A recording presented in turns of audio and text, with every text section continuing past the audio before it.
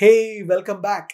Identity protection uses the learnings Microsoft has acquired from their position in organizations with Azure AD, the consumer space with Microsoft accounts, and in the gaming with Xbox to protect your users. Microsoft analyzes 6.5 trillion signals per day to identify and protect customers from threats. In this lesson, you will learn about Azure Identity Protection.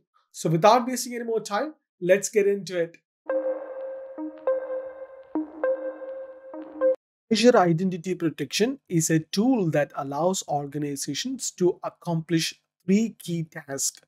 The first task is automate the detection and remediation of identity based risk. Second task is investigate risk using data in the portal. And third main task is export risk detection data to third party utilities for further analysis. Microsoft analyzes 6.5 trillion signals per day to identify potential threats. These signals come from Azure AD, Microsoft account, and Xbox accounts. The signals generated by these services are fed to identity protection. So they can be used by tools such as conditional access, which uses identity protection signals to make access decisions. These signals are also fed to security information and event management tools as well, such as Sentinel for further investigation. Identity protection categorizes risk into three tiers low, medium, and high. Additionally, it can calculate the sign in risk and user identity risk as well. So, what is sign in risk? Sign in risk is the probability that the sign in wasn't performed by the user. Let me quickly show you how you can find identity protection on your Azure portal.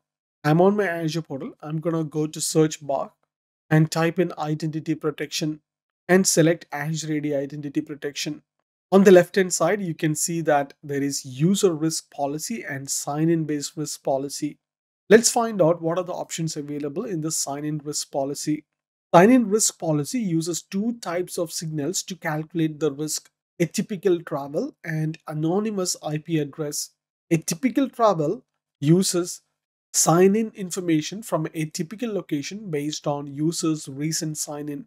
Anonymous IP address uses sign in information from anonymous IP addresses, for example, Tor browser or anonymized VPNs, etc. The next one is user risk. User risk is a probability that a user identity has been compromised. And this uses signals like unfamiliar sign in properties, malware linked IP address, leak credentials, password spray, Azure AD threat intelligence, etc. And these risk signals can trigger actions such as requiring the user to provide additional multi factor authentication, reset the password, or block access until an administrator take actions. Now let us look into the different types of reports available with Azure AD Identity Protection. It gives you reports such as risky users, risky sign-ins, and risky detections. You can find these reports by going under report. Investigation of events is a key to understanding and identifying any weak points in your security strategy.